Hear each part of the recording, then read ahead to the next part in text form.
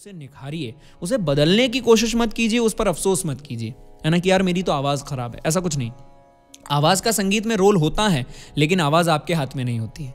आवाज़ ईश्वर की देन है तो उस पर आप बस उसको अपनाइए और उसे निखारिए। जैसी भी है, उसे निखारिए। शरीर, रंग रूप आकार, ये ईश्वर की देन है। उसी तरह से आवाज़, ये भी ईश्वर की देन है। हम ईश्वर, अगर नहीं भी ईश्वर को मानते हो तो साइंस को तो मानते होगे कि साइंस ने ऐसा ही बनाया है। भाई ऐसे ही पैदा हुए थे। अब इसे ज़बरदस्ती हम दवाइयाँ खा खा के नहीं स्टेरियड्स ले लेके मैं अगर मोटा हो जाऊँ तो वो हेल्थ पर हेल्थ हजार्ड बनेगा वो अपना। एक ऐसा मोबाइल एप्लीकेशन जिसमें रिकॉर्डेड नहीं लाइव क्लासेस होंगी वन ऑन वन गुरु आपके सामने बैठ के आपको सिखाएँगे। अभी डाउनलोड कीजिए संगीत धरा SPW और सीखिए संगीत प्रवाह वर्ल्ड की पूरी फैकल्टी से संगीत।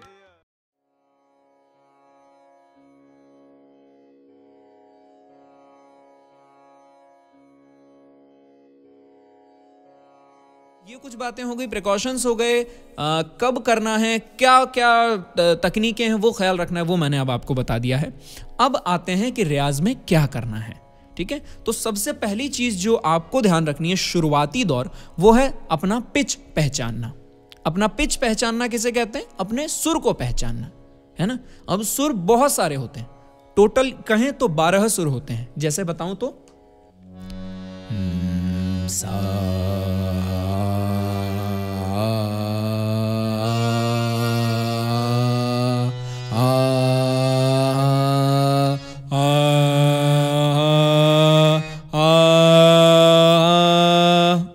ये बारह सुर हुए, है ना? अगर इसे मैं और थोड़ा सा ऊँचे से बताऊँ तो एक, दो, तीन, चार, पाँच, छ, सात, आठ, नौ, दस, ग्यारह, बारह, ठीक है? तेरवा जो सुर होता है, वो पहले का डबल होता है। जैसे कि सा ये पहला सुर है और सा ये तेरवा सुर है। सा सा सा सा सेम ही साउंड है वो। बस उसकी फ्रीक्वेंसी डबल हो गई है। तो सा और सा के बीच में जो है, बारह सुर आपके रहते हैं। तो इन बारह में से आपका पिच जो है, वो क्या है? वो डिसाइड करना पड़ता है। तो according to vocal tone pitch decide होता है। जैसे मेल जो वॉइस होती है, उनमें बेस होता है और ट्रेबल जो है फीमेल वॉइसिस का टोन है। ठीक है? उमूमन। ये मैं जनरल बता रहा हूँ, है ना? वरना एक्सेप्शंस में हो तो वो एक्सेप्शंस होते हैं। कई मेल होते हैं जिनकी आवाज़ में बेस नहीं है और पतली आवाज़ है। और कई फीमेल्स ऐसी हैं जिनकी आवाज़ में दम है, दमखम है, भारीपन है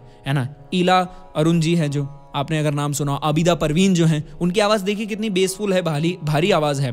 पंजाब की जो फोक सिंगर्स होती हैं, जैसे कि नूरा सिस्टर्स हैं, उनकी आवाज़ आप देखिए, कितनी दम है आवाज़ में उनकी। बेसफुल है, मर्दों जैसी आवाज़ है। तो ऐसा भी होता है तो वो कोई गलत बात नहीं है एक्सेप्शन हैं। ऊपर वाले की यूनिकनेस है, सबको अपनी अपनी कला देता है वो। कई मर्द होते हैं जिनकी आवाज़ में वो बेस नहीं है। आप देखेंगे अरिजीत की आवाज़ में बेस है, थोड़ा दम है, पर वो जब थोड़ा छोटा था, तब उतना दम नहीं था, उतना बेस नहीं था।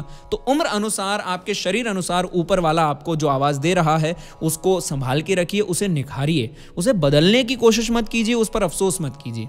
है ना कि यार, मेरी तो आवाज़ ख़राब है, ऐसा कुछ नहीं। आवाज़ का संगीत में रोल होता है, लेकिन आवाज़ आपके हाथ में नहीं होती है। आवाज़ ईश्वर की देन है तो उस पर आप बस उसको अपनाइए और उसे निखारिए। जैसी भी है उसे निखारिए। शरीर, रंग रूप, आकार, ये ईश्वर की देन है। उसी तरह से आवाज़, ये भी ईश्वर की देन है। हम ईश्वर, अगर नहीं भी ईश्वर को मानते हो तो साइंस को तो मानते होगे कि साइंस ने ऐसा ही बनाया है। भाई, ऐसे ही पैदा हुए थे।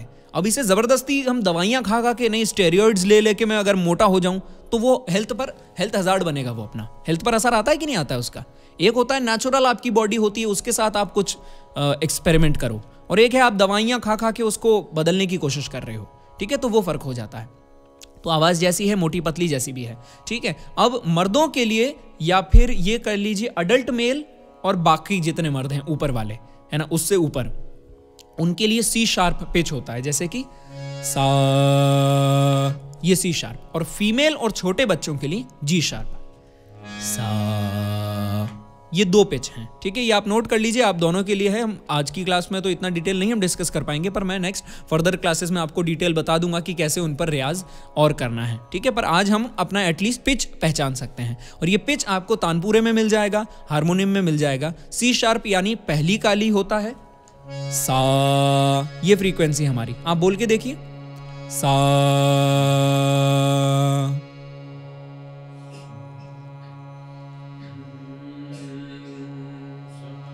हाँ ठीक है? ये आपका पिच है। अब यहाँ से एक एक दो तीन चार पाँच यहाँ से पांचवा सुर यानी इस काली का प जो बनता है वो धृति के लिए होगा। सा बोल के देखिए धृति। हम्म, सा इस फ्रीक्वेंसी को मैच कीजिए। सा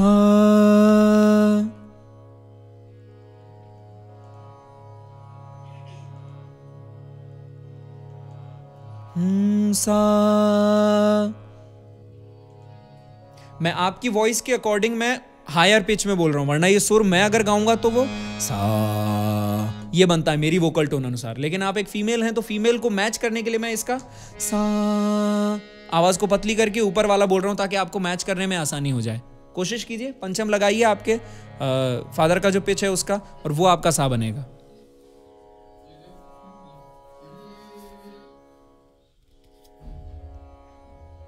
लगाइए, कोशिश कीजिए मैच करने की उसे। अच्छा एक बार जो पिच आपके अंदर आ रहा है, वो बाहर निकालिए, फिर हम उस अनुसार उसको ऊपर नीचे उतारेंगे। नेचुरली जो आपके गले से निकलता है ना, हारमोनियम छोड़ दीजिए। नेचुरली आप सा बोलिए एक बार। किस सुर में बोलते हैं, देखते हैं। गाते रहिए। ठीक है? गाते रहे गाते रहे थोड़ा रेगुलर गाइए। और सीधा बैठ के गाइए। ठीक है, ये पांचवी काली है। अब यहाँ से दो सुर हमको नीचे उतरना है। सा सा, गाइए।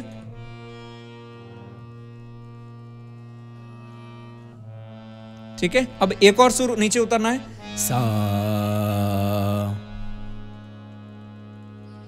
ये बात। ठीक है?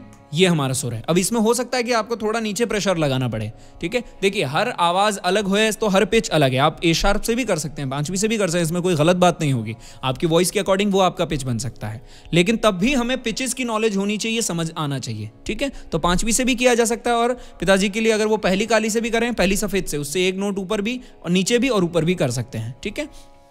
तो खैर, ये तो पिचेस की बात थी। अब इनमें क्या क्या करना होगा? ओमकार का रियाज होता है सा का रियाज होता है, रेंज का रियाज होता है। वो हम फर्दर क्लासेस में आगे और डिस्कस करेंगे। ठीक है? तो आज मेरे ख्याल से आपको रियाज क्या होता है, कब करना होता है कैसे करना है उस पर हम बाद में बात करेंगे। हाँ कैसे करने पे भी हमने थोड़ी बहुत डिस्कस कर लिया। क्या करना होता है रियाज में, उस पर हम फर्दर क्लासेस में बात करेंगे।